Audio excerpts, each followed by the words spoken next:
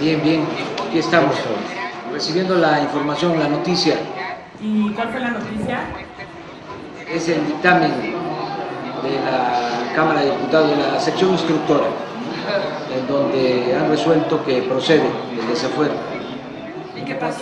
El desafuero en su contra. ¿Y qué pasa ahora? ¿Cuáles son los Ahora planes? informar a los ciudadanos y vamos a seguir este, insistiendo que se trata de un asunto político, no jurídico, que no cometí ningún delito, que no desobedecí a ninguna autoridad judicial y que vamos a defendernos pacíficamente. Tenemos el respaldo de la gente, nos asiste la razón, de modo que no vamos a precipitarnos, aunque tengamos el corazón caliente, la cabeza fría. ¿Y cómo se siente? Pues la verdad, la verdad, al mismo tiempo tengo decepción y orgullo. Tengo decepción porque es un retroceso, es un golpe a la incipiente democracia mexicana. En el fondo lo que quieren es hacerme a un lado, les preocupa mucho el avance de nuestro movimiento y no quieren que yo participe en las elecciones del 2006. Y es un orgullo también el que nos cierren el paso, porque eso significa que representamos una posibilidad de cambio para el país.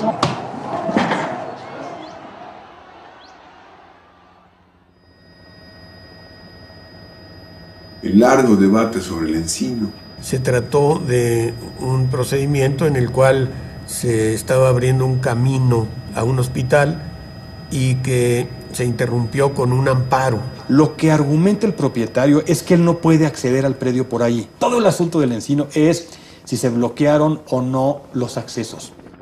Se tenía el mejor hospital de América Latina, el más moderno, siempre y cuando tuvieras un helicóptero para poder llegar. Y mañana mismo en la sesión se dictamine si Andrés Manuel López Obrador pierde o no el fuero. El presidente Fox dice que México ha dado un ejemplo de que aquí se cumple la ley. Porque dice que usted violó la ley, pero usted insiste en que eso no es cierto. No es cierto. Y No violó la ley. no violé la ley, No hay ningún delito. no hay ningún, delito. crimen. Mira, hay 16 mil hojas, 16 mil hojas en el expediente. No hay una sola prueba en mi contra. Yo no firmé un solo documento. Esto, eh, Pero dice que no le hizo el caso usted a un juez que lo obligaba a detener la construcción de un camino de acceso a un hospital en varias ocasiones, que no le hizo caso al juez y que sí, siguió con el mira, proyecto. te explico. En el gobierno de la ciudad se reciben alrededor de 100 juicios diarios que tienen que ver con eh, procesos judiciales. Y este fue uno de ellos. Y este fue uno de ellos.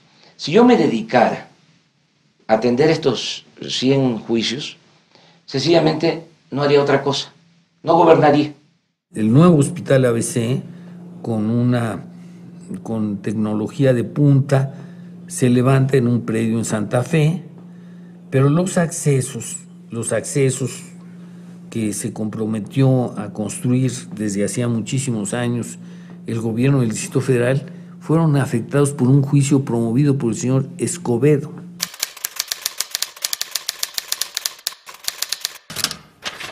Fernando Escobedo Garduño, presunto dueño del predio conocido como El Encino, demandó al gobierno capitalino para que le regresaran sus terrenos, aprovechando la asesoría legal del senador Diego Fernández de Ceballos. Escobedo es un especulador de, de tierra en el oeste de la Ciudad de México, en las lomas de Santa Fe particularmente.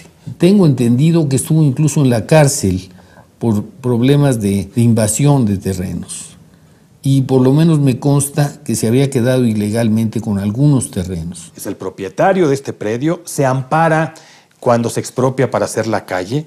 El primer juez, el noveno en materia administrativa, le dice que no le concede el amparo. En consecuencia, sigue viva la expropiación para hacer la calle.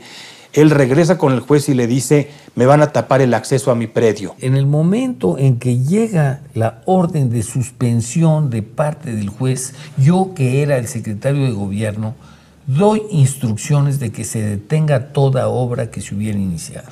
Yo lo firmé, ahí está mi firma y ahí está el oficio. Sin embargo, el juez de distrito consideró que se había violado el, el amparo y a partir de eso se inició el procedimiento de desacato a una disposición de una autoridad federal, se exageró, se trató de decir que el jefe de gobierno y que el gobierno de la ciudad eh, no estaban cumpliendo la ley, no, no era así, el, camino se detuvo. Yo entonces intervine como abogado del hospital inglés y yo sugerí ciertos mecanismos de tipo jurídico para que pudieran continuar las obras y eh, José Agustín Ortiz Pinchetti, entonces, en ese entonces secretario general de gobierno, me dijo, esto no funciona porque esto implicaría violar la suspensión que ha decretado un juez. Solamente desde una posición de ignorancia o abiertamente de mala fe puede decirse que hubo omisión por parte del gobierno de la ciudad. Esta noche la PGR anunció que solicitó un juicio de procedencia en contra de Andrés Manuel López Obrador. Esto significa que la Procuraduría General de la República le pide a los diputados que decidan si le retiran o no el fuero para ser juzgado. Yo tengo la convicción de que eh, es un enemigo uh, a vencer en las elecciones, eh, está muy arriba en las encuestas, está muy arriba en las preferencias y eh, una forma de eliminarlo, alguien descubrió el famoso artículo 38, fracción segunda de la Constitución Política Mexicana, que, como ustedes saben, es único en el mundo, es un artículo eh, que viene desde el siglo XIX, desde 1824, y este artículo establece que quien esté sujeto a proceso pierde, por el solo hecho de estar sujeto a proceso, pierde sus prerrogativas del ciudadano, es decir, sus derechos políticos. Es decir, no puede votar en las elecciones ni puede participar como candidato a los cargos de elección popular. Al menos tenemos el perfil claro de que el presidente, al ver que fallan en la conspiración de los, de los videos, decide ir a otra que sea un tiro definitivo, el desafuero y la descalificación para las elecciones de 2006 de Andrés Manuel López Obrador. Imagínate quitarle el derecho eh, a la mala a un posible candidato a la presidencia utilizando esos métodos. Eh, puede que no estén de acuerdo conmigo, pero que lo decide el pueblo, que se deciden las urnas. Yo en lo personal no estoy a favor de López Obrador. No creo en su propuesta, ni creo que tenga los atributos que requiere el estadista eh, que puede sacar al país de sus broncas en el 2006. Pero me parece que en la democracia los atributos de un candidato los resuelve el voto, no los resuelve un grupo de notables, por notables que estos sean.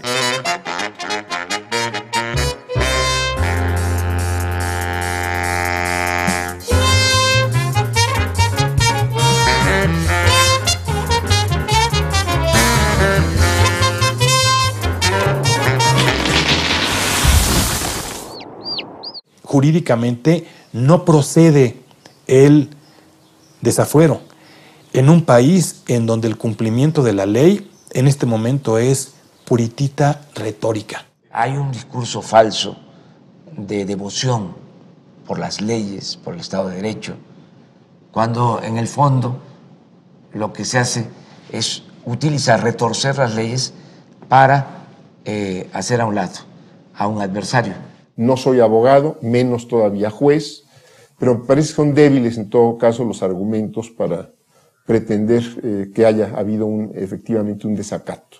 Entonces se está haciendo un uso viciado, un uso faccioso del poder desde el Ejecutivo y esto va en contra de cualquier avance democrático. Todo el mundo tiene sus ideas políticas y tiene todo el derecho a pedir que uno de los suyos mande Pero lo que no se vale es usar armas sucias. Lo que aquí resultaba extraño es de que se suponía de que ya estábamos en una etapa distinta en México, de que ya no se utilizaban esos métodos que correspondían más al gobierno anterior, al régimen eh, del PRI.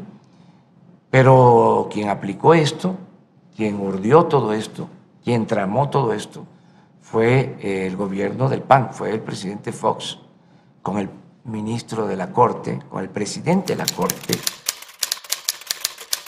Un periódico, El Milenio, da a conocer, meses después, esta reunión de Azuela con Fox en Los Pinos. Imagínate al presidente de la Suprema Corte, a quien representa un poder autónomo, independiente, acudiendo a Los Pinos, donde está el titular de otro poder, eh, para tratar eh, el asunto del, desafuero. Era evidente que el involucramiento del ministro Azuela, presidente de, de la Corte, era un acto extremadamente peligroso, porque no es, el, eh, no es un funcionario de un poder independiente, no puede jugar el papel de asesor jurídico del presidente de la República. O sea, ya había la decisión, ya había la, consigna. ¿no? Por eso me da hasta vergüenza que el presidente de mi país eh, haya actuado de esa manera, porque no solo era un daño a mí, no era únicamente hacerme a un lado, sino era un retroceso democrático.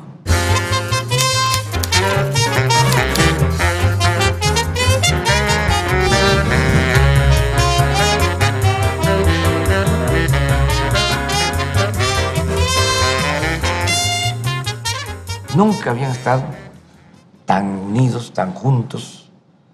Solo se había dado una asociación así, PRI-PAN, cuando lo de el FOAPROA. O sea, por eso yo siempre hablo del PRIAN. Se pelean cuando hay elecciones locales, cuando hay elecciones municipales, estatales. Se pelea el PRI y el PAN. Pero cuando se trata de lo mero principal, siempre se ponen de acuerdo arriba. Eh, representan los mismos intereses, los mismos privilegios. La diferencia entre Andrés y la mía, ¿cuál es? Que un golpista como Andrés busca el poder a través de la legalidad y de la violencia.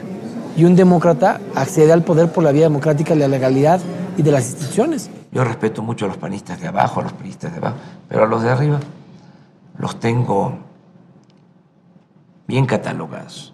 En el caso de los dirigentes del PAN, su verdadera doctrina es la hipocresía. Y en el caso de los dirigentes del PRI, ya ni hablamos. Ojalá arregle pronto su asunto con los jueces. Yo ahí no le puedo ayudar con los jueces, pero si Andrés resolviera pronto su tema con los jueces, a mí me seguiría, por supuesto, gustando verlo en la boleta. Yo hablé naturalmente con mis compañeros, hablé con, como te decía, con el presidente del partido. Yo les dije, digo, reconozcamos al menos en nuestro fuero interno qué es lo que estamos haciendo. Y lo que estamos haciendo tiene un móvil, el móvil es el móvil político, y es cancelarle la posibilidad de que compita. Y eso es, desde mi punto de vista, ir en contra de, las reglas elementales de la democracia. Vicente Fox es el principal responsable, prácticamente el, el mayor responsable, casi el único responsable del desafuero. Y hay que decirlo también, su esposa, que había sentido la, la ilusión de poder ser presidenta, o sea, una especie de reelección virtual del presidente a través de ella, y que sentía que el único obstáculo que la separaba de la presidencia era Andrés Manuel, que le llevaba 20 puntos a finales de 2003. Una cena en Guanajuato. Estuvo eh, Fox, unos periodistas y la señora Marta. Y ahí ella dijo, eh, la contienda va a ser PRIPAN. El PRD no.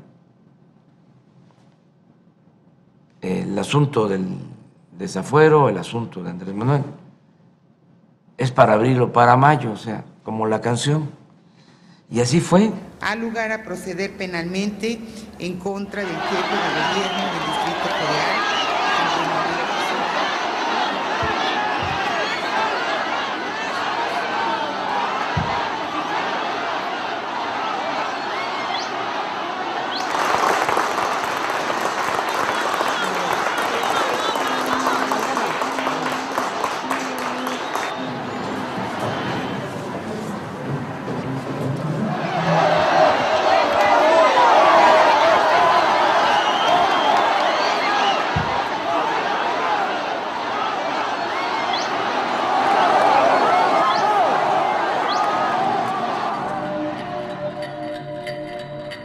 Suponiendo que, Yo eh, que te quiten el fuero, tú terminas y te vas a tu oficina a trabajar. Sí, o a la casa a esperar a que el juez este, decida. Yo eh, voy a dejar de ser jefe de gobierno si se consuma esta arbitrariedad, este atropello, eh, estando prácticamente en la cárcel. La Cámara de Diputados está lista para que mañana se instale como jurado de procedencia y mañana mismo en la sesión se dictamine si Andrés Manuel López Obrador pierde o no el fuero que tiene hoy como jefe de gobierno de la Ciudad de México.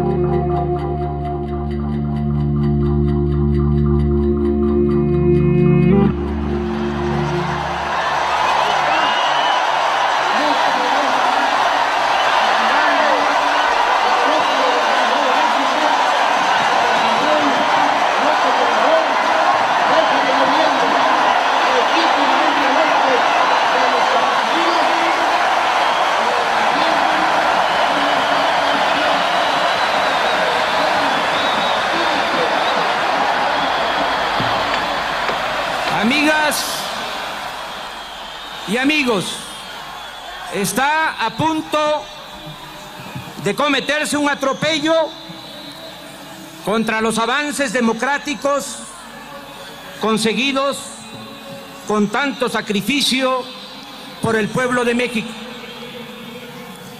El desafuero nos regresa a la época autoritaria cuando desde los pinos se decidía quién podía o no ser el presidente de México, sin tomar en cuenta la voluntad popular. Quieren hacerme a un lado para que mi nombre no aparezca en las boletas electorales en el 2006. Este movimiento es, ha sido y será pacífico. Quiero también decir a ustedes que ya sé que no estoy solo, así como me dicen, ya lo sé, pero no hace falta que vayan conmigo a la Cámara de Diputados. No olviden que somos un equipo, que el gobierno no es nada más un solo hombre y todo ese equipo va a seguir trabajando, va a seguir sirviendo a la ciudad.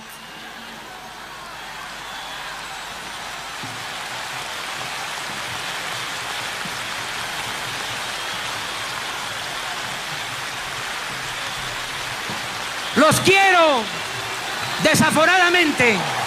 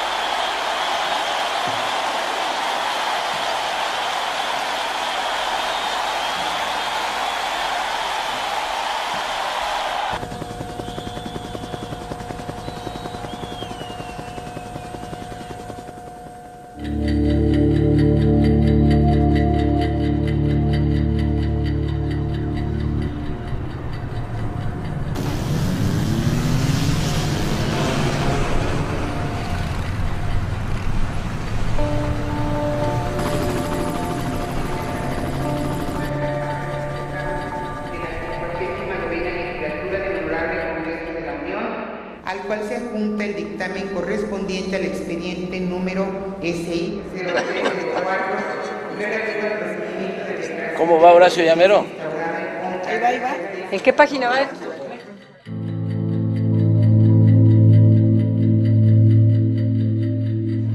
Yo creo que será. Puede ser, puede consignar mañana, entre las 8 y media de la mañana y las 14.30, porque esas horas abren.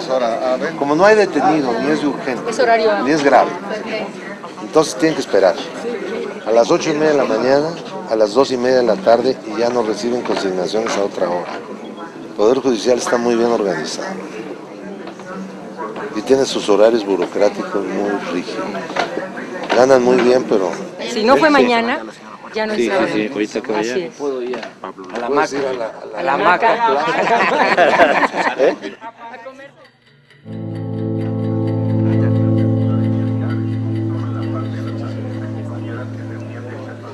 Bueno, no. Ya, ya no, no, no te pongas. Me vas a poner sentimental y ahorita quiero endurecerme. Bueno. Bueno, te mando muchos besitos. Adiós. Tenía preocupación en el zócalo. Me va a entrar el, el, el, este. Sí, este. Le estoy preguntando a algunos, ¿no? Oye, ¿cómo se le hace para Aguantar,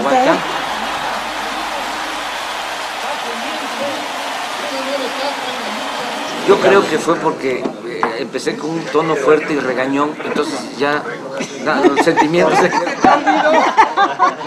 Y aquí no Pero fue.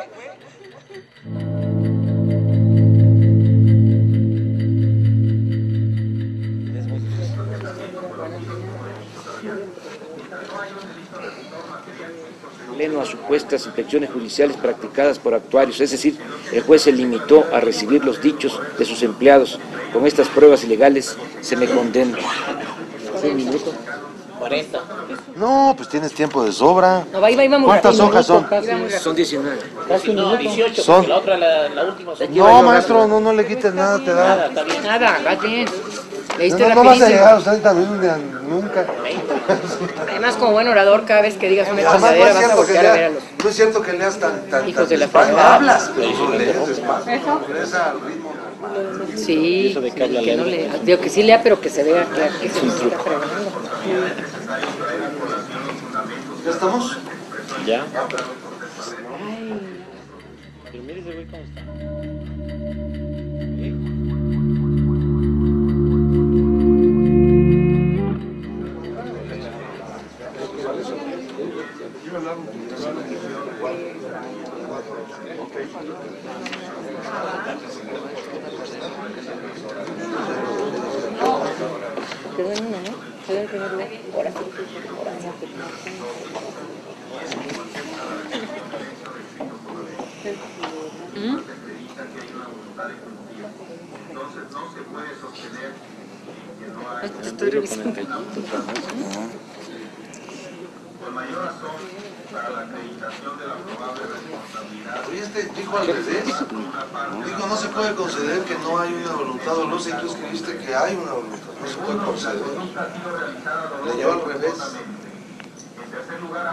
No puedo hacerme responsable más que de lo que escribo, no de lo que leen.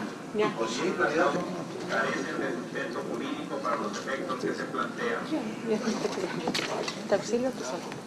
No, eso no, yo me peino, no, si se me acomoda, si me acomoda. pero aparte de- No, no, no, no, no. No, Luego te van a cotorrear ahí. en el- Sí, cuando se agacha, cuando se De- agacha de se muy le- lejos. No. Así está bien. Ya, Así está hasta bien. allá. Es que sí, ya está bien. Eh, ahorita me doy una peinada. Para eso se inventó el peine. Para eso.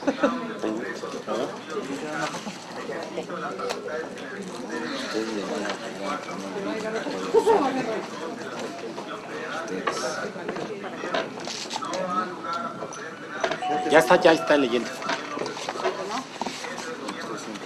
Ah, ¿cómo está? ¿Cómo les fue en, en la concentración? No, pues muy bien, sí. No, digo, eh, no, hubo ningún inci- no hubo incidentes. Diputado guanajuatense.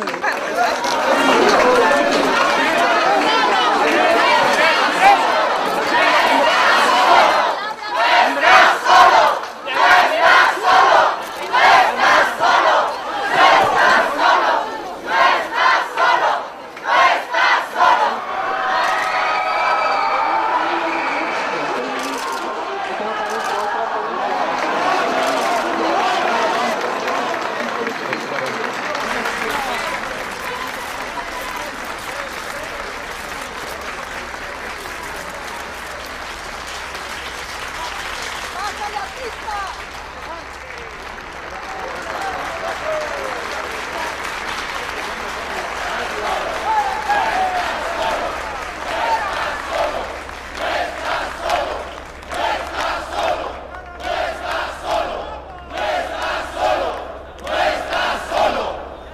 Tiene la palabra hasta por 30 minutos el señor licenciado Carlos Javier Vega Memije, solicitante de la declaración de procedencia, quien está debidamente acreditado ante este jurado.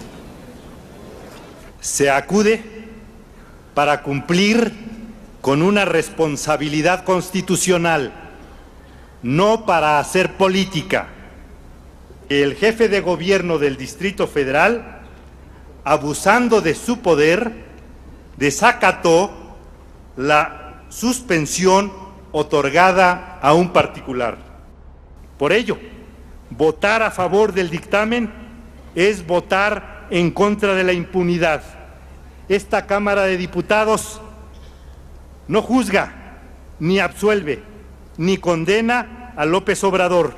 Lo que sí puede hacer esta soberanía, y así lo pide el Ministerio Público de la Federación, con apoyo en las resoluciones dictadas por diversos órganos del Poder Judicial, es quitarle el fuero para que se someta a los tribunales. La solicitud del Ministerio Público es Le que recuerdo, este asunto... señor orador, que se ha terminado su tiempo. Termine, por favor. Termino, señor presidente. La solicitud del Ministerio Público es que este asunto se analice con la ley en la mano, que las instituciones privilegiemos el cumplimiento de la ley. Nadie puede estar encima de la ley. Nadie puede decir que la aplicación de la ley no es justa. La justicia no la determina un solo individuo. La justicia es la síntesis de las aspiraciones de un pueblo. Y en México la expresión del pueblo está en sus leyes. Por ello se aplicará en realizar actos de justicia. Por su atención, muchas gracias. Es tiempo.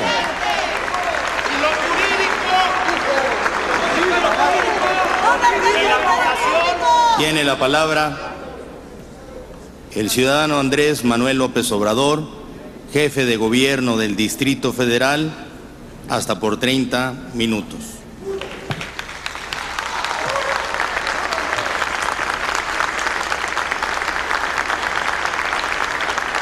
Van a tener que desaforar a licenciado Vega Memije porque violó el reglamento.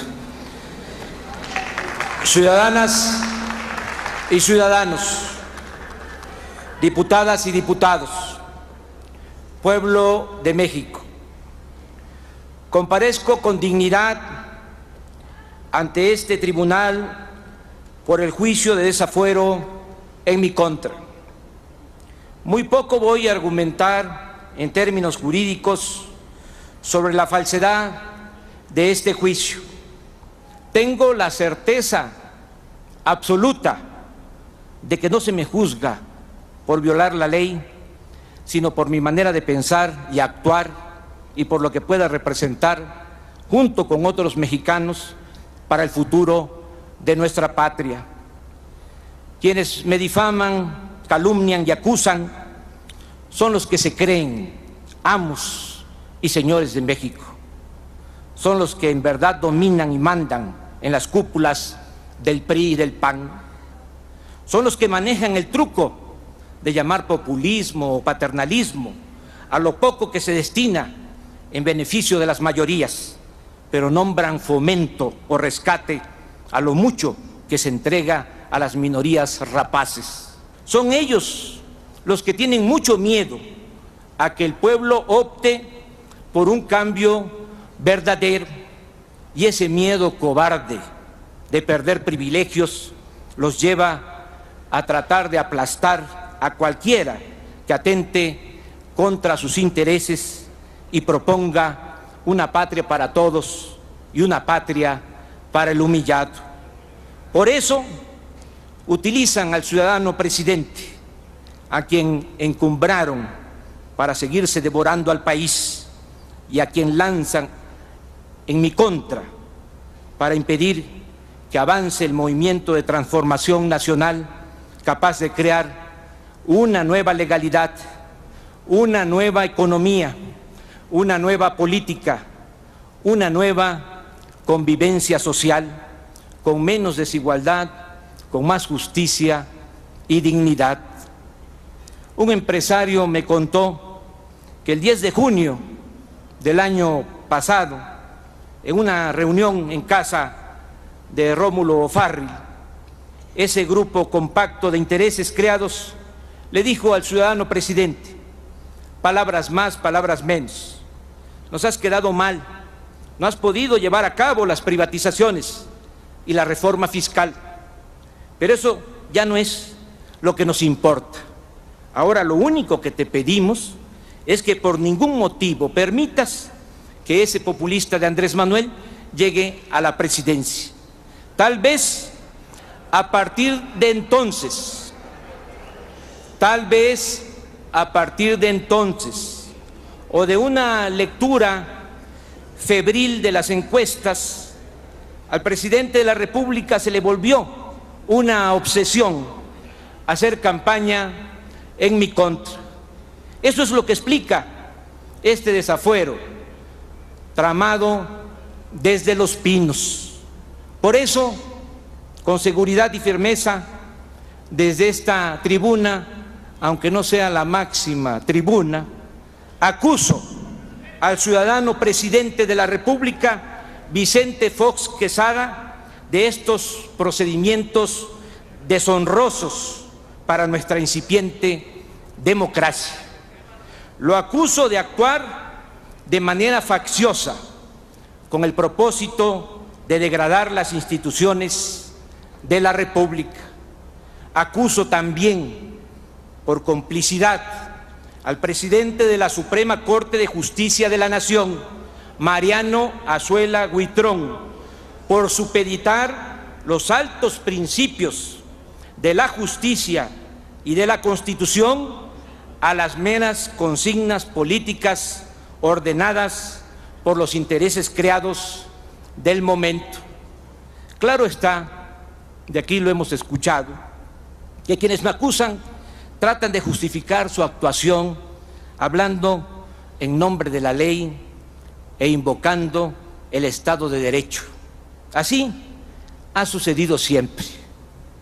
Todo acto autoritario suele encubrirse en un discurso de aparente devoción por la legalidad.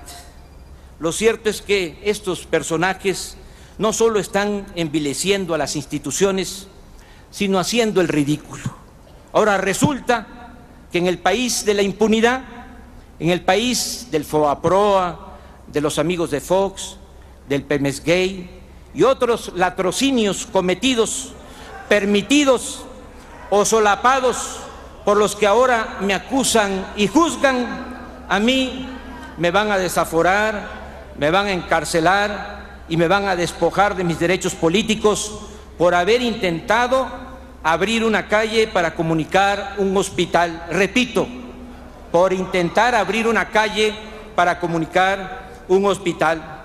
Ahora resulta que los defensores del derecho supremo del privilegio han convertido en un grave delito una supuesta infracción jurídica que amerita despojarme del cargo que legal y legítimamente me fue otorgado por los ciudadanos del Distrito Federal. Ese es el Estado de Derecho que pregonan. ¿Cuál Estado de Derecho puede haber si en México los encargados de impartir justicia, en vez de proteger al débil, solo sirven para legalizar los despojos que comete el fuerte?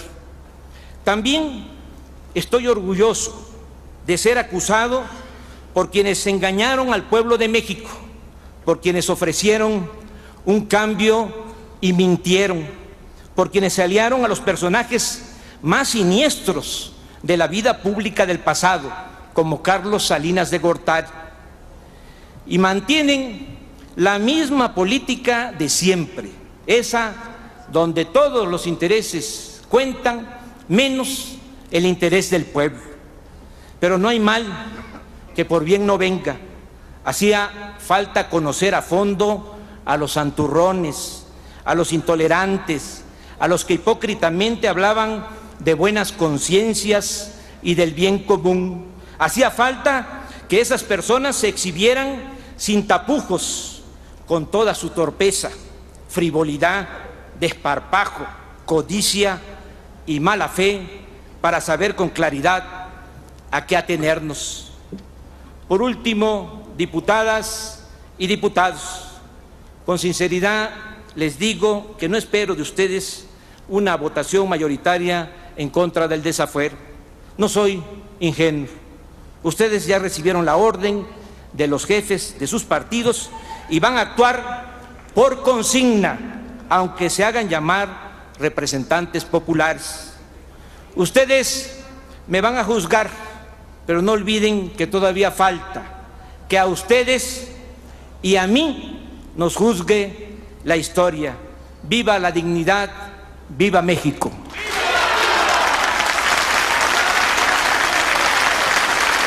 Diputadas y diputados, ciudadano presidente, en uso de mis derechos, me retiro. Es todo lo que yo tenía que decir. Muchas gracias. Andrés Manuel no quiso usar su derecho a réplica y rápidamente abandonó San Lázaro. Su suerte estaba decidida. Proceda la Secretaría a ordenar se abra el sistema de votación para votar el dictamen en sus términos.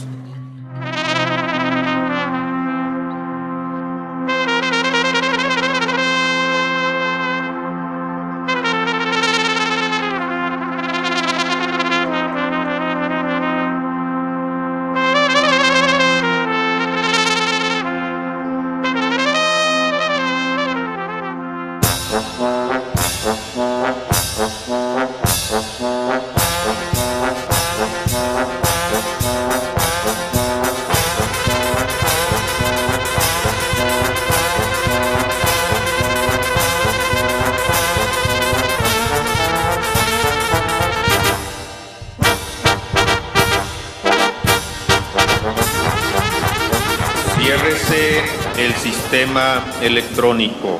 360 votos fueron a favor del desafuero, 127 en contra y dos abstenciones.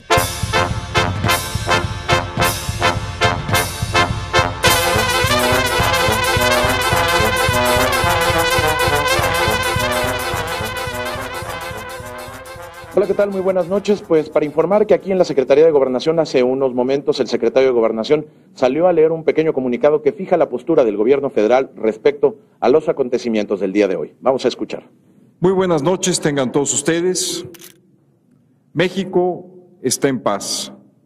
Y está en paz porque es un país de instituciones y de leyes. Ahora, finalmente, como todos ustedes saben, el asunto estará en manos ya del Poder Judicial. Permitamos todos que la ley siga su curso, que la vida institucional tenga vigencia plena, encontremos dentro del marco institucional las soluciones que la ley nos permita. Así, precisamente estaremos fortaleciendo la democracia y fortaleciendo el Estado de Derecho. Muchas gracias. En todo momento, el presidente Vicente Fox recibió información de lo que sucedía en el país y desde Roma así habló de este tema. Hoy México da un ejemplo al mundo de legalidad, de apego a la ley y da también una clara señal de la fortaleza de nuestras instituciones. Y con eso termino ese tema. Andrés Manuel López Obrador deja a partir de hoy de ser jefe de gobierno de la Ciudad de México. Polémica en la capital. ¿Hay o no jefe de gobierno?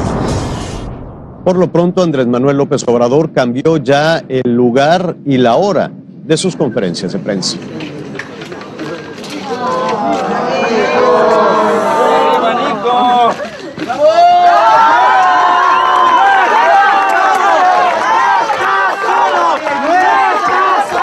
Nos vamos a estar reuniendo aquí en el parque todos los días a las 8 de la mañana. Si hay algo, pues inmediatamente les convocamos, hago ese compromiso. También les digo que voy a permanecer así, esperando que el Ministerio Público pida al juez que, como dicen los abogados, me obsequien la orden de aprehensión. López Obrador espera en su casa la acción de la PGR.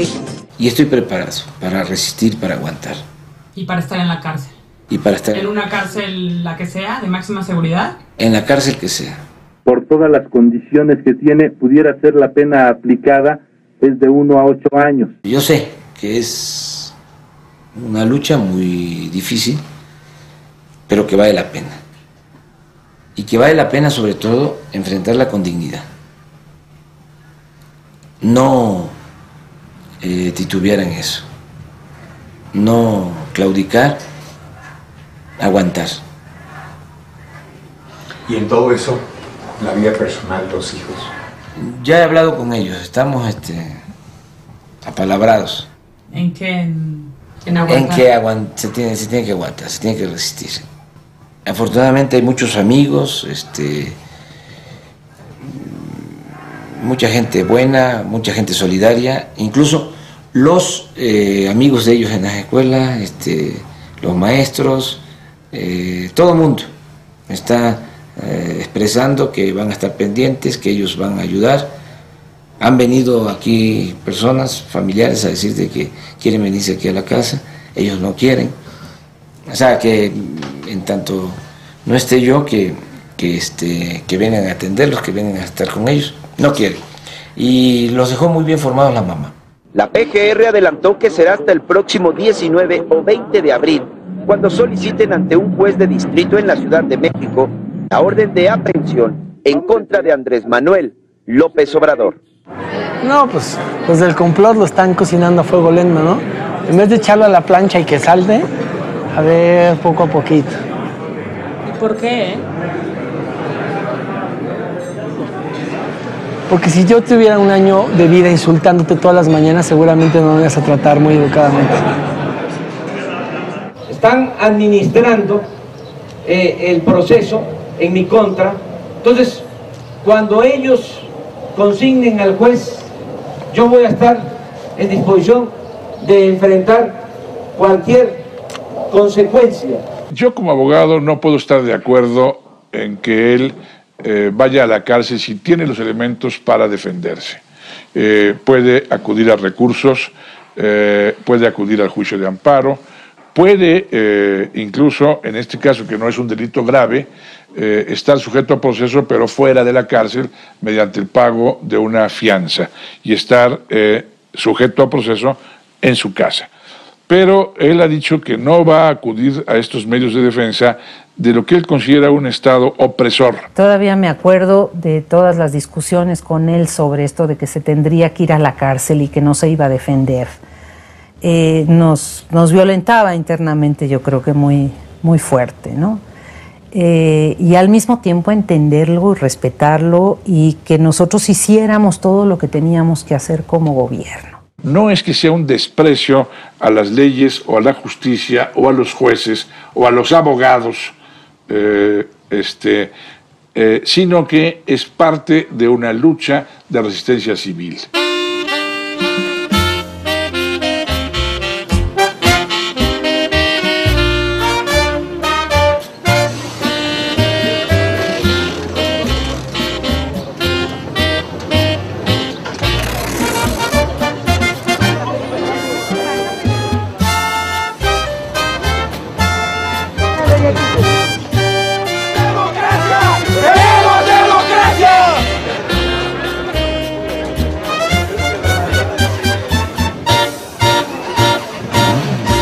Tenemos un pueblo que además de votar, defiende sus derechos, o sea, que no se limita únicamente a votar el día de la elección y de dejar la responsabilidad en el gobernante o en el dirigente o en el representante popular, sino que eh, está pendiente y ante una injusticia participa y toma parte de lo que la gente está planteando, eso ya es una sociedad muy madura, muy responsable, eh, eso es la democracia.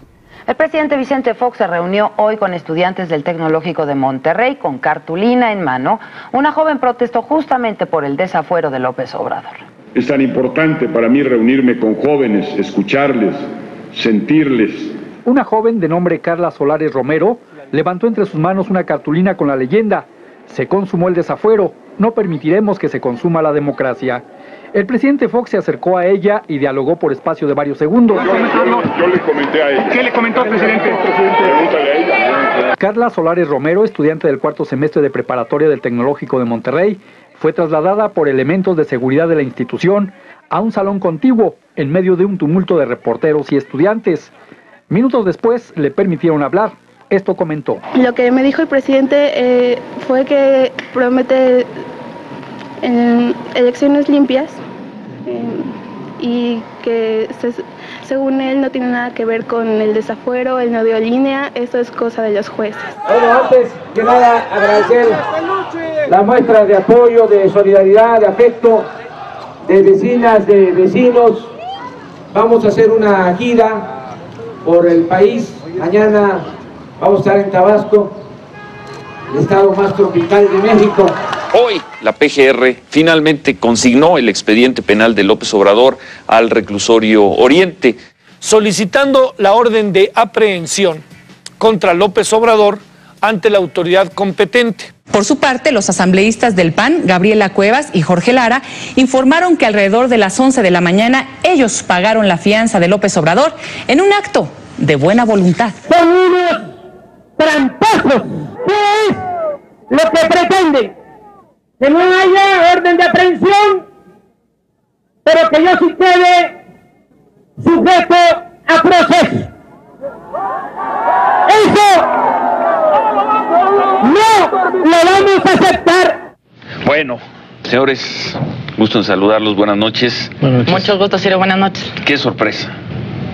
Pues aquí ¿Qué, andamos. qué sorpresa, qué sorpresa dieron. Antes que nada, platíquenos cómo se enteraron y qué los llevó a pagar esta caución, esta fianza, para que López Obrador no vaya a la cárcel. Gabriela. Nosotros nos encontramos dándole sí muchas vueltas al tema de la fianza que se ha venido ventilando ya por varias semanas y nos encontramos que se publicó en estrados, en la PGR, es algo público, es algo a lo que cualquier ciudadano puede tener acceso, este tema de la fianza, que con un pago de dos mil pesos, el jefe de gobierno, en ese entonces ahora, el señor Ló- López Obrador, no tendría que ir a la cárcel. Y nosotros estamos seguros que aunque él haya violado la ley, pues tiene todo el derecho de enfrentar su juicio en libertad. ¿Y ustedes por qué están seguros, Jorge Alberto?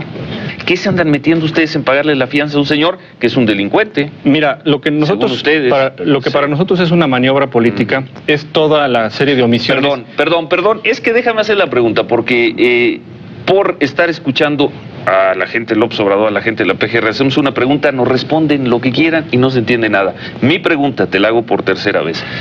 ¿Por qué ustedes le pagan la fianza a otro señor? Porque queremos- Que además ha dicho que nadie quiere que le paguen la fianza. Porque queremos que Sí. enfrente a la justicia en libertad. Ah, Ha sido muy conveniente para el señor López el tema del desafuero porque le ha dado una plataforma mediática eh, indiscutible y muy ventajosa. Por razones políticas y además, toman esta decisión sí, jurídica hoy Nosotros ustedes. estamos previendo de que si el señor López llega a perder la libertad, aunque sea unos minutos Mm. o unas horas, eso sin duda sería de enorme beneficio, de enorme rédito político para su causa.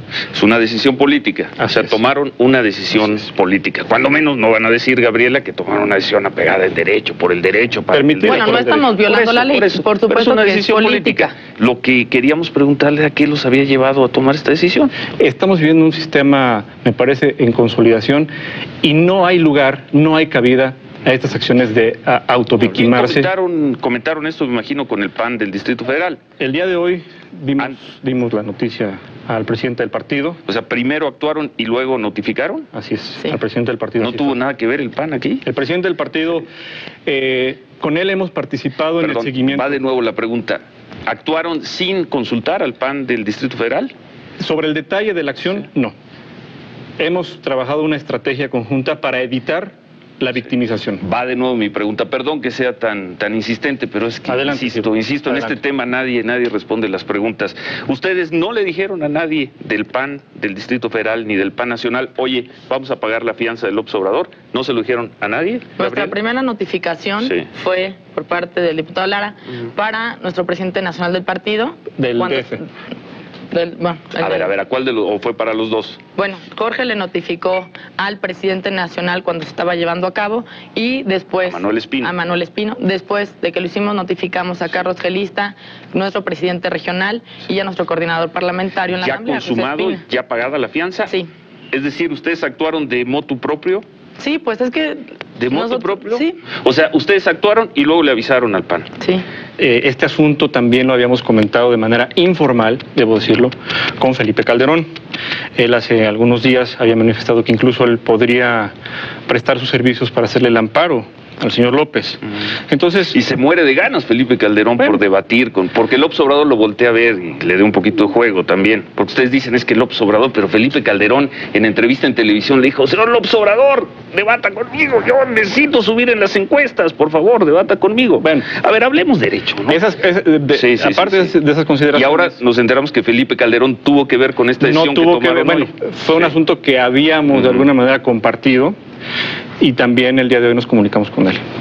Para, comunicaron hoy. para pues avisarle que ya habíamos ejecutado esta Pues dieron la nota.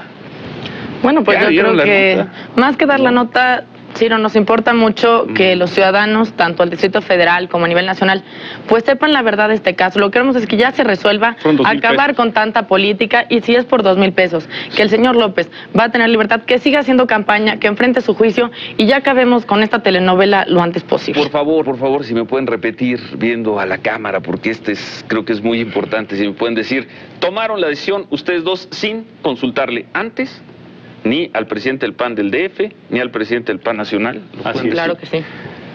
Así fue. Así fue. Fue iniciativa de ustedes. Ahí está la cámara. Así fue. Familiares de varios reos del reclusorio Oriente ingresaron al recinto de Donceles. Esto para exigir que los asambleístas del PAN, Jorge Lara y Gabriela Cuevas, paguen la fianza de sus internos, tal como lo hicieron con la fianza de López Obrador. Y entonces a este par de majaderos se les ocurrió, a alguien se le ocurrió, a un torpe, decir, ah, bueno, pues vamos a, pa- a pagar nosotros la fianza y vamos a pagársela aún antes de que esté detenido. Y ellos hacen una maniobra burda donde pagan eh, la fianza para que yo no vaya a la cárcel porque empiezan a decir de que yo voy este, a utilizar ¿no? lo de la prisión para provecho personal. Es la única persona en nuestro país que ahorita quiere estar en la cárcel. Los que quieren meter a la cárcel a Andrés Manuel pagan la fianza. Este es una cosa absurda, pero propia de un país como México, ¿no? Chistoso y folclórico. Este, por lo menos en, en la- en la- en lo que concierne a su clase política. No queremos verlo en la foto, sobre todo cuando es una foto no merecida, es una foto producto de un capricho. Ellos pensaron que la gente iba a decir, miren ya, eh, se le acabó el martirologio a este señor, que no se haga el mártir, que siga su juicio como hombrecito, que siga su juicio como hombrecito fuera de la cárcel, que no quiera hacerse el mártir. Eh, pues no, eh, aquí la gente lo vio como la bajeza. Ah, le quieren quitar el derecho de protestar desde la cárcel. Esto ya es el colmo. Esto muestra que hay un complot, muestra que hay una conjura, que hay un grupo de conjurados y que hay un golpe. Van a darle un golpe de Estado. Es decir, no es que se lo hayan dado, sino que todo viene preparándose para dárselo. Él es el que tiene que pedir la libertad provisional o caución, no ningún tercero, ningún extraño, ningún diputado, senador, ni siquiera el presidente de la República. Entonces el juez dice, esto violó la ley. Por lo tanto, yo no le puedo dar curso. Tomó todo el expediente que le mandó el procurador y se lo devolvió. Y le dije, ya cuando tengas un caso, me lo mandas. Pero ahorita no tienes un caso. Hemos escuchado el anuncio que acaba de hacer el juez decimosegundo del distrito en materia penal allá en el reclusorio Oriente. Básicamente está regresando la averiguación a la Procuraduría General de la República y está negando y está negando la orden de comparecencia contra Andrés Manuel López Obrador y por eso dice ya no tiene por qué pronunciarse sobre esta caución que pagaron los dos diputados panistas. Es la derrota en el juzgado de distrito que le hace ver al presidente que ya no había remedio y que habían llegado mucho más allá de donde hubieran querido. Alguien le debe haber dicho, es que esto está trabado. No va a haber nadie que libre una orden de aprehensión contra el señor, aunque quieras. La PGR no tardó mucho en reaccionar a la decisión del juez. El subprocurador Javier Vega Memije negó categóricamente que la PGR haya sufrido una derrota. Cada vez eran más, más eh, mayores errores los que cometían y intentaban taparlos con otros errores peores todavía.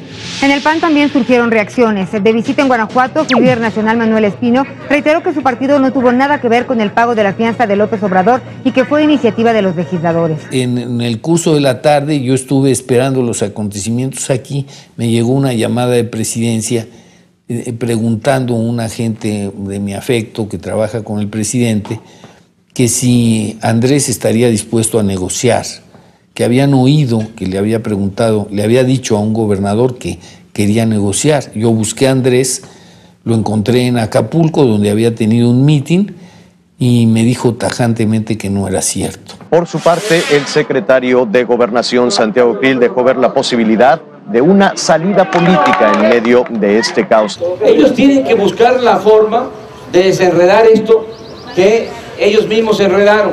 ¿Qué salida política identifica usted en este momento que podría, que podría usted proponer? No, yo no estoy hablando de salidas políticas, yo quiero... ¿Entraría la negociación ahí? Con No, los principios no se negocian.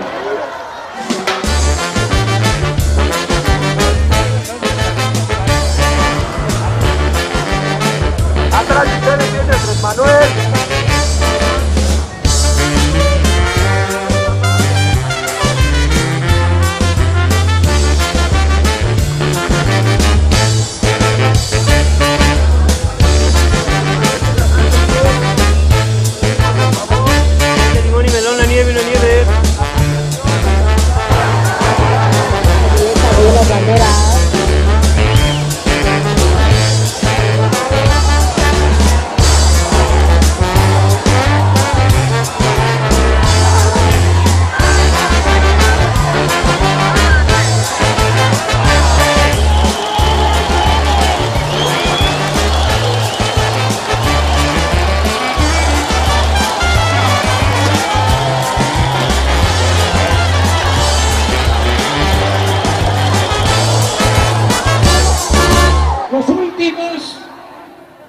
Acontecimientos están reafirmando lo que sostuvimos desde el principio.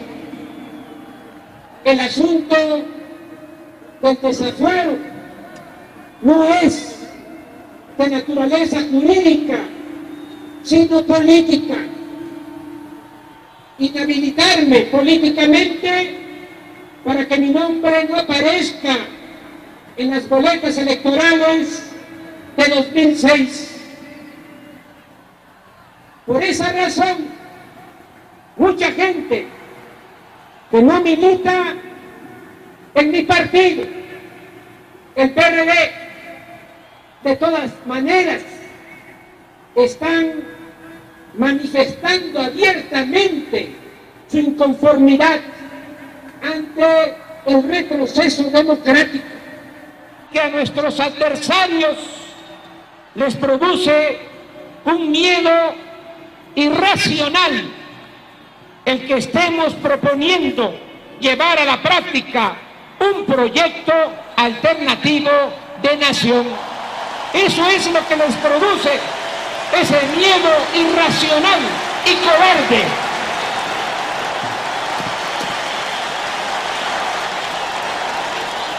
Nuestro proyecto no implica excluir, hacer a un lado a nadie. Nosotros no odiamos ni buscaremos venganzas. No vamos a perseguir a nadie. No inventaremos delitos. No daremos consignas al Poder Judicial o al Ministerio Público. Seremos absolutamente respetuosos de nuestros adversarios y del derecho a disentir. Nosotros nunca vamos a apostar a destruir a nuestros adversarios. Vamos a continuar luchando de manera pacífica. Confiemos en que nuestra causa es justa. Estemos atentos Vamos a defender la democracia. Sufragio efectivo, no descalificación.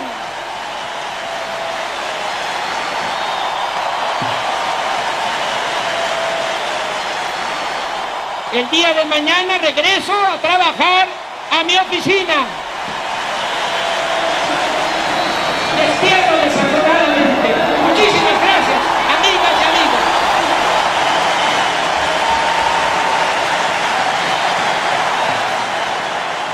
No es una manifestación típica. Eh, salen a la calle realmente un millón y pico de personas y esto hace una demostración de fuerza extraordinariamente importante.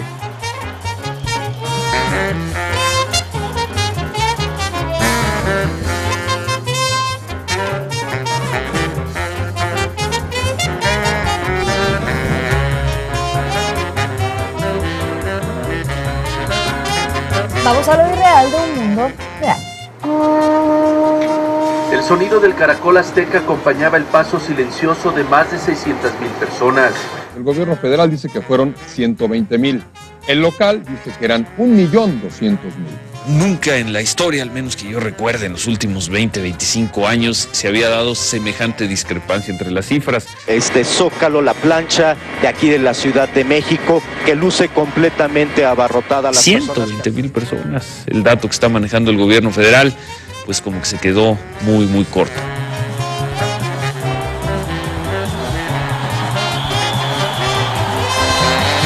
Bueno, pues hoy regresó a su oficina el que sigue siendo jefe de gobierno del Distrito Federal, Andrés Manuel López Obrador.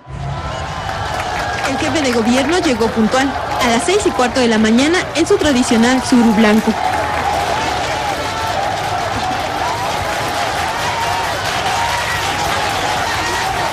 Gabinete junto con sus abogados lo recibieron con aplausos en la entrada del edificio de gobierno.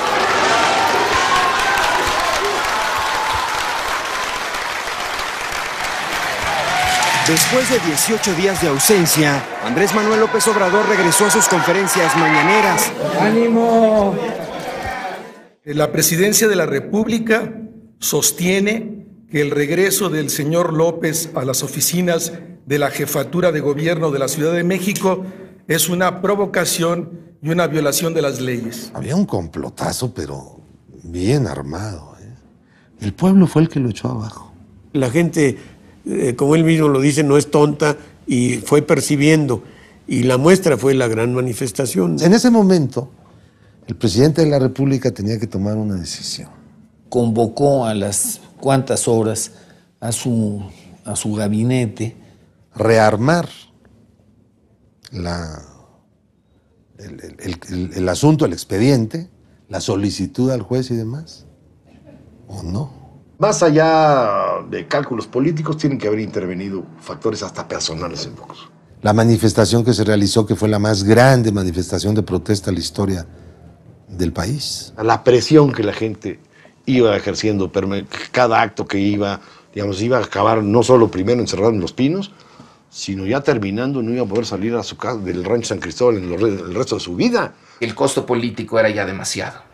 El costo político interno e internacional. Porque fuera de nuestro ambiente, donde estaban los ánimos muy caldeados, visto desde fuera, con ánimos desde luego más serenos, visto desde Estados Unidos, visto desde Europa, visto desde América Latina, era una ridiculez. Pero no calculamos nosotros, así con, te lo digo con franqueza, que el presidente se fuera a echar para atrás, que lo venciera la sociedad, que lo obligara el pueblo. ¿Por qué no me dices qué es eso? No te va a pasar nada. ¿Eh? Tranquilo. Yo no soy ningún traidor a la democracia. Al revés, trabajé por la democracia para todos. Sí. No, no, ojalá no, seguro, seguro. Así es, así es. ¿Por qué crees que soy traidor a la democracia? ¿Por qué? ¿Eh? ¿Qué está pasando? ¿Qué está pasando? ¿Qué tiene? ¿Yo lo hice el desafuero? ¿Quién lo hizo el desafuero? ¿Eh? ¿Quién, quién hizo el desafuero? ¿Quién?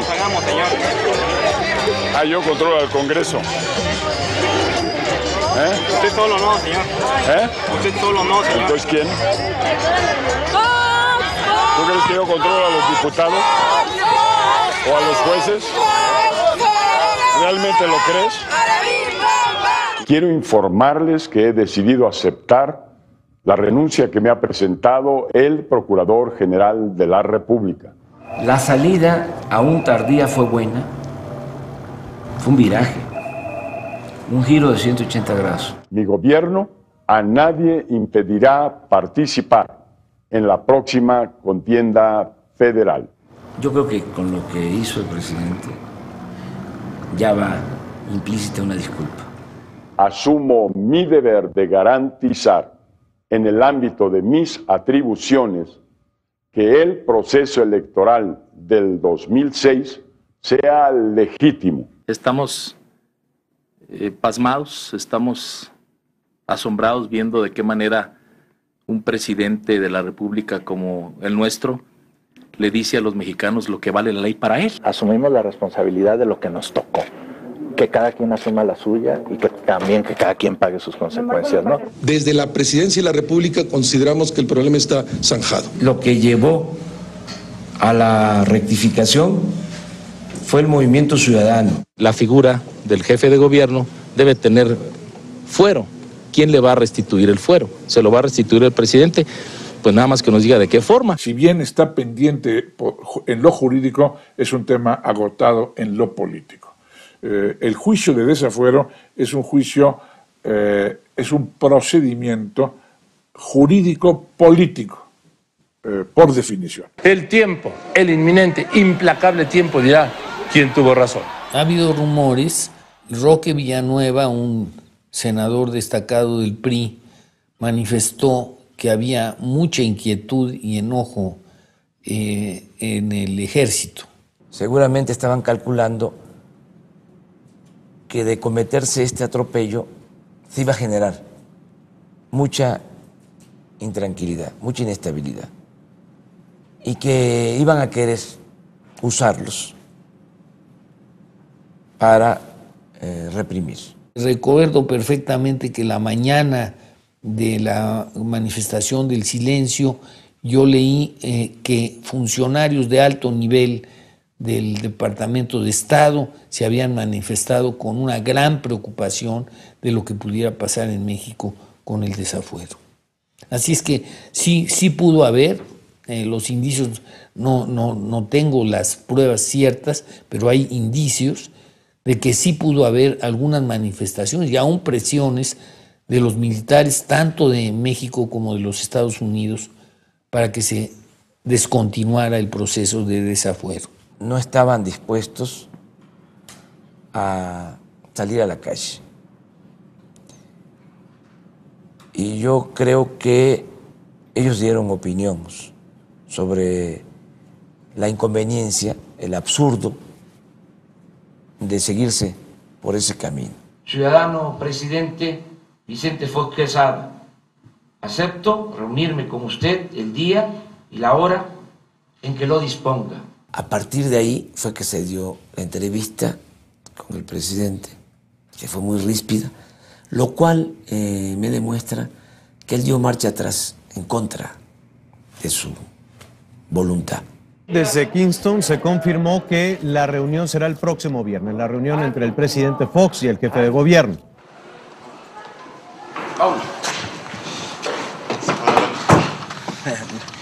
Se me hizo tarde. ¿Está lloviendo? No.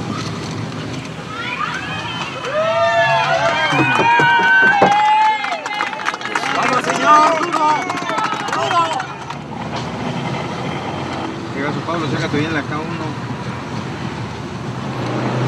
¿Por dónde te vas? Universidad, Gabriel Mancera, Universidad Félix Cuevas, Patriotismo, Parque Lira.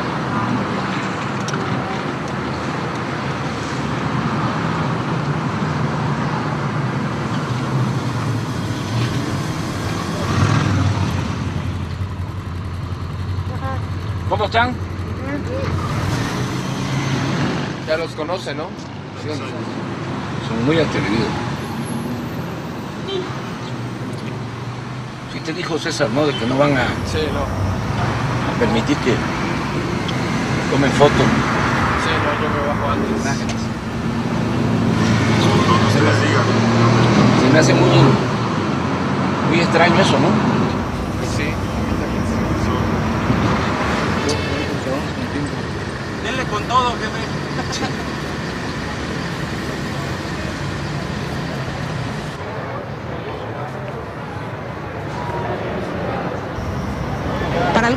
Se abría la antesala de su ingreso a Los Pinos en el 2006. Para otros se abrían los brazos para el moderno abrazo de Acatempan. El encuentro tan anunciado y esperado Fox López Obrador duró solamente 20 minutos. 10 minutos. La prensa dice 15. Pero la verdad que fueron 10 porque yo me tomé un café antes ahí. Fue productiva, breve y buena, por eso doblemente buena. Pero lo cierto es que fue muy ríspida. Nunca lo había dicho. Eh, hasta ahora. Pero esa es la, la realidad. Porque tampoco iba yo a salir a decir, pues ya habíamos nosotros triunfado. Realmente. Ni modo que yo iba a salir este, a, lanzármele, ¿no? Al ciudadano presente. Yo ya quería este, que las cosas se tranquilizaran, se normalizaran. Pero la realidad es que sí fue muy majadero, muy grosero. Fue muy breve la reunión, él va solo, y, pero simbólicamente creo que fue muy importante porque fue cerrar un capítulo muy negativo de, esta, de este gobierno de- del presidente Fox. Yo llegué, pues tranquilo, ya había pasado todo. Pues para eh, decirle que bien que rectificó, que bien que cambió de parecer, que tomó esta decisión. No le hace que haya sido tardía, pero nos evitó muchos problemas. Fue desilusionante porque el presidente eh, eh, había aceptado finalmente tener una reunión con Andrés Manuel.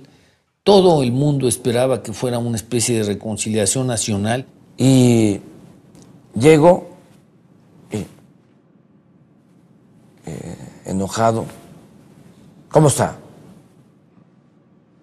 Bien, ciudadano presidente. Yo bien. Entonces, ahí le dije,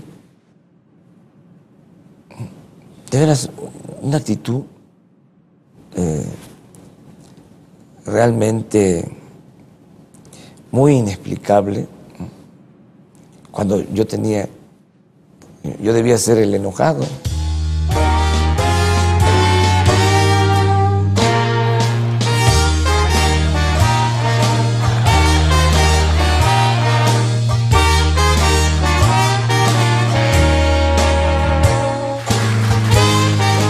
Esto del desafío es para hacer una película.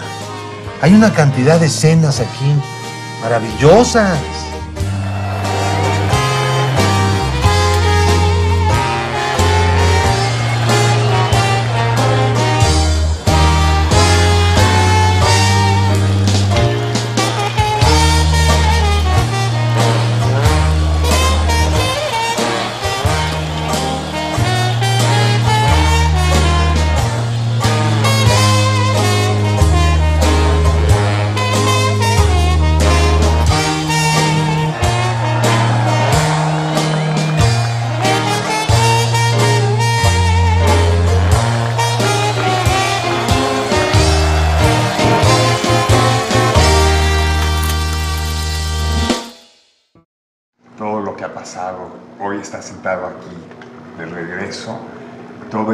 Pesadilla se vuelve una nube que desaparece aparentemente. No. Y hoy va, Queda una sensación, lo he dicho, lo repito, bueno, sentí encima el poder, ¿no? Encima de mí, el aparato de fuerza. Ya lo he sentido en otras ocasiones, en la lucha por la democracia. Pero ahora fue distinto. Antes eh, lo sentía y me preocupaba porque estaba yo totalmente desprotegido. Era una lucha de un dirigente social en Tabasco. No teníamos el respaldo popular de ahora. Nos podían aplastar. Estaban más cerrados los medios, había más control y manipulación. Ahora tuvimos más respaldo popular, medios más abiertos, jefe de gobierno de la ciudad, en fin, mejores condiciones, pero sentí que había más irracionalidad de los adversarios, más torpeza, más desparpajo, y que podían cometer cualquier cosa. Le dieron carpetazo al caso López Obrador.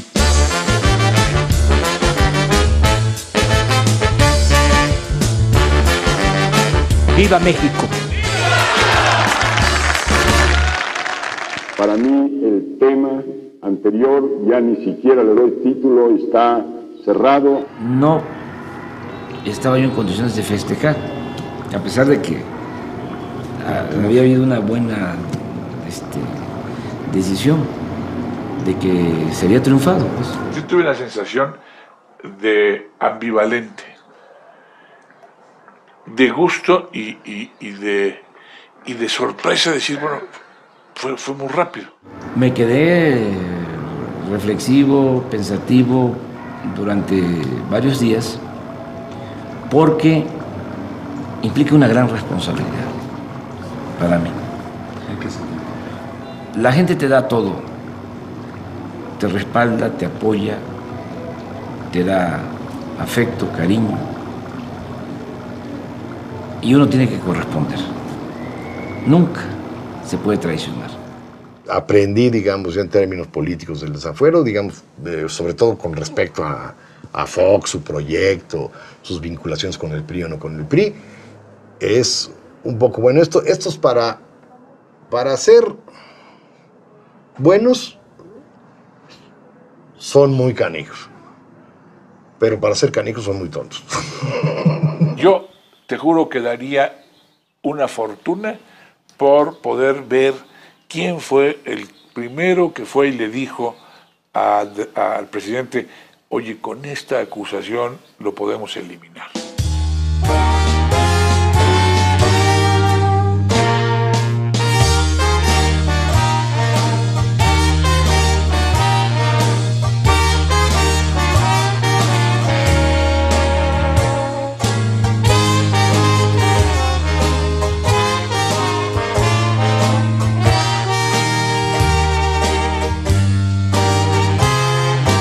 Apostaron al desgaste, a que este tema se iba a ir olvidando al paso del tiempo.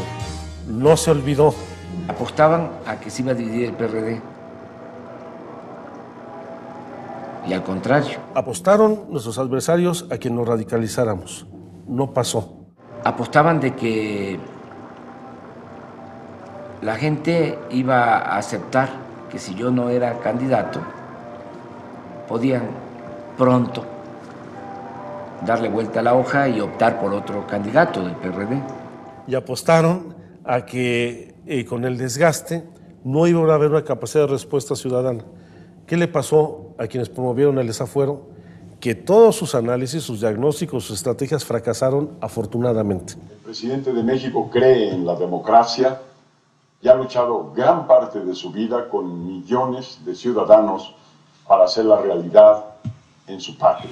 Las consecuencias de los actos jurídicos no se borran con disculpas. Y dice Chaufet, se nos está cuarteando Fox. ¿Así? Es extraordinaria la- la revelación. Mover a todo un poder como es el legislativo en un procedimiento de desafuero y mover al poder judicial a partir de un expediente que se va a revisar cuando se debió haber revisado desde un principio, me parece absolutamente inmoral e irresponsable. En eso no hay retroceso. Después de 27 días del desafuero, la renuncia de un procurador y de casi tres años de investigación, la Procuraduría General de la República emitió un comunicado en donde decidió no ejercer acción penal en contra de López Obrador, porque después de analizar el expediente, encontraron que sí hay pruebas para demostrar el delito, pero no existe en nuestras leyes el castigo. Si no hay pena, no hay delito. Si no hay delito, no hay presunta responsabilidad. Si no hay presunta responsabilidad, no hay probable responsable. Si no hay probable responsable, no hay delincuente. No puede haber acusación. Estás diciendo un, un, una contradicción in términis. ¿Qué contradicción? ¿Quién presentó las pruebas a la Cámara? La Procuraduría. Tenía ese criterio, desde entonces sabía que no había sanción, desde entonces sabía. Pues ¿para qué lo presentó? Muchos diputados del PAN veían con, con gran preocupación todo este proceso. Les parecía que se estaba armando algo que era muy peligroso para ellos también. Una vez me dijo Javier, hay disposición de parte de los dirigentes del PAN de llegar a un acuerdo. El licenciado Javier Quijano, que era representante de Andrés Manuel, tuvo una comida con uno de los, con el coordinador de la fracción del PAN, y el, el coordinador le propuso esta solución. El acuerdo es de que te libran a ti, pero alguien tiene que aparecer como responsable. Y entonces propusieron que, eh, que en el examen, que apareciera el dictamen condenatorio, pero desviado hacia mí, que dijeran que el que verdaderamente había violentado la ley era yo. Pero me río porque se encontró Quijano a José Agustín y le dijo, te tengo una buena y una mala. La buena es que esto se puede arreglar. Le dije, bueno, yo estaría dispuesto a encarar el, el riesgo y que esta pesadilla termine. Entonces le dije, no, no, no hay acuerdo, no hay trato. Y me dijo, pero es que te tengo una mala noticia. ¿Cuál es? Que desayuné con Andrés Manuel y que me dijo que de ninguna manera podía aceptar, que eh, no era, eh, ninguno de nosotros era responsable y que adjudicarnos o aceptar esa responsabilidad era una infamia. En ese momento me di cuenta que Andrés Manuel iba a ganar la batalla, porque estaba demostrando una superioridad psicológica, ética y política sobre sus adversarios. Es como si un hombre al, al borde ya del desastre prefiere afrontar su suerte, la que sea, con tal de no violentar sus principios. Con el porvenir de México no se juega. No se juega haciendo, si te voy a anular como candidato, te voy a hacer un cargo determinado y te lo voy a seguir hasta, las, hasta el final. Cuando el pueblo se manifiesta asombrosamente, es cuando dice no, mejor no. Ellos cometen el error de considerar que el pueblo no existe, que el pueblo es tonto, que la política es asunto, como siempre, de unos cuantos. Lo dijo uno de los diputados. Lo que pasa es que no había otra forma de bajarle su popularidad. La verdad que la impronta, o sea, la huella del viejo régimen, está con nosotros todavía. Eso lo percibe la mayoría de los mexicanos. Y se expresa en contra. ¿Por qué crees que soy traidor a la democracia? ¿Por qué? ¿Eh? ¿Qué está pasando? Cuando el muchacho de Oaxaca dice eh, traidor a la democracia, hay que tomar en cuenta que ya la prensa extranjera estaba hablando de eso. Y yo unos días antes, en el discurso de Guadalajara, en el discurso de Nayarit, hablé de que Fox no solo estaba incumpliendo con los compromisos que había hecho, que no solo estaba mintiendo, sino que se estaba revelando como un gran traidor a la causa de la democracia. La lectura que se hace en los medios extranjeros es que este proceso es un acto abusivo y es una manera de retirar de una contienda política al mejor competidor. Rogelio Ramírez de la O, que está en el equipo económico, me enviaba algunos de los, de los, de los que manejan fondos de inversiones, etcétera, etcétera, en, en, en Nueva York, que les explicara yo un poco la parte política. Y en realidad alguien del Wall Street me la explicó a mí mucho mejor de lo que yo la podía haber expresado. Y simple y sencillamente me dijo, es que si hacen el desafuero, en México ya se pueden atrever a cualquier cosa. Hay tantos obstáculos para que llegue a la presidencia, que es una historia que tiene enormes tintes humanos. O sea, no nada más es la historia del político que aspira a llegar a la presidencia, sino es como todo un sistema, toda una serie de obstáculos que está tratando de evitar que llegue a la presidencia. Si él, eh, hablamos dentro de varios meses o dos años, y él llega a la presidencia, eh, más de uno va a quedar bien sorprendido.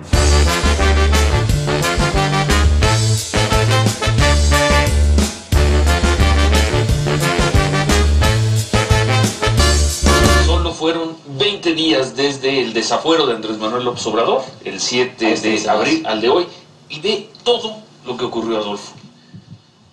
Todo lo que ocurrió y que en buena medida concluye, concluye cuando menos de esta etapa, vamos a ver que viene mañana, No, este con el mensaje del presidente Fox. Y el mensaje del presidente Fox nos lleva a un desenlace. Quienes son partidarios de Andrés Manuel López Obrador ya tienen candidato a la presidencia. El PRD ya tiene candidato a la presidencia.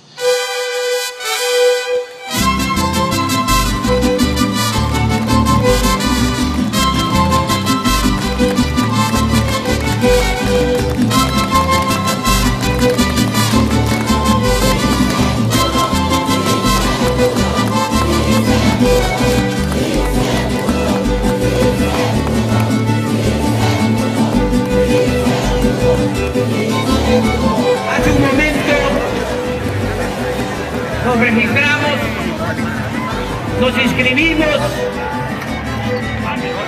para representar a las fuerzas democráticas de México para lograr una verdadera transformación. Sí se pudo, por ustedes estamos aquí porque querían descalificarnos, querían hacernos a un lado con el desafuero y no pudieron, porque el pueblo es mucha pieza. Aquí estamos. Por su atención, muchas gracias.